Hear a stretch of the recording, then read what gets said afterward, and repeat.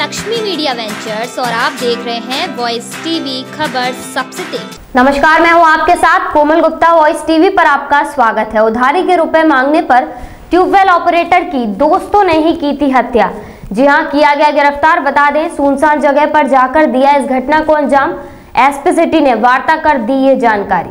फिरोजाबाद थाना दक्षिण पुलिस ने परमेश्वर गेट स्थित कन्हैया नगर में एक सप्ताह पूर्व ट्यूबवेल ऑपरेटर की हत्या कर शव चार दीवारी में फेंकने के मामले में आरोपी को गिरफ़्तार कर घटना का खुलासा कर दिया है। बता दें, गिरफ़्तार हत्यारोपी ने बताया, ट्यूबवेल ऑपरेटर के द्वारा उधारी के रुपए मांगने से आक्रोशित होकर की थी हत्या। थाना दक्षिण के मालवीय नगर निवासी ट्यूबवेल ऑपरेटर राम प्रकाश उर्फ़ पप्पू एक सप्ताह पहले सिर कुचल कर हत्या करने के बाद शव को चार दीवारी में फेंक दिया था। इस घटना की जानकारी अगले दिन प्रातः परिजनों को तब हुई जब क्षेत्र के लोग दैनिक क्रिया के लिए प्रेमेश्वर गेट रेलवे पुल पार कर खेतों में गए थे। घटना की सूचना मिलते ही पुलिस ने शव को कब्जे में लेकर पोस्टमार्टम जिला अस्पताल में कराया था। इस मामले में मृतक की पत्नी ने दो लोगों के खिलाफ नाम दर्ज कर रिपोर्ट थाना दक्षिण में कराई थी। बता दें, पुलिस ने रिपोर्ट दर्ज करने के बाद आरोपियों की तलाश शुरू कर दी।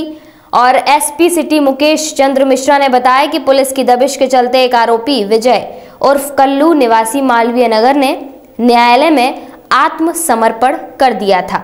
न्यायालय ने उसे जेल भेज दिया। दूसरे आरोपी को पुलिस ने बल्लू पुत्र राम भरोसी निवासी मालवीय नगर को मुखबिर की सूचना पर गिरफ़्तार कर लिया है।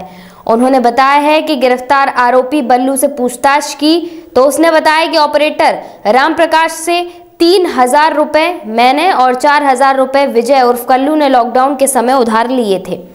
इन रुपयों का तगादा रामप्रकाश आए दिन किया करता था। रुपयों के लेन देन को लेकर उनका रामप्रकाश से विवाद भी हुआ था।